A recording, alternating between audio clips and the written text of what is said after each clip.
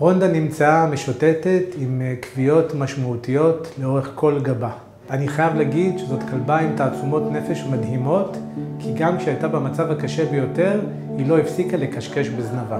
היא הגיעה אלינו למרפאה כשהיא סובלת מתת תזונה, מהתייבשות, מפצעים מוגלתיים, ובבדיקת דם שערכנו לה גילינו שהיא סובלת מקדחת קרציות.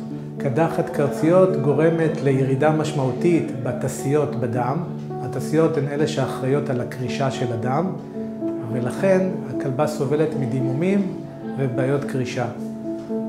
בעזרת הטיפול אנחנו מצליחים להתגבר על הטפיל ולהחזיר את תפקודי הקרישה לנורמה. כל הפצעים נכבשו וטופלו, היא כלבה סופר חברותית, סופר אוהבת, אנחנו נורא נורא נקשרנו אליה ומאוד אוהבים אותה. בקרוב מאוד, כשרונדה תחלים, אין לי ספק שהיא תהיה כלבה נהדרת לכל משפחה שתאמץ אותה.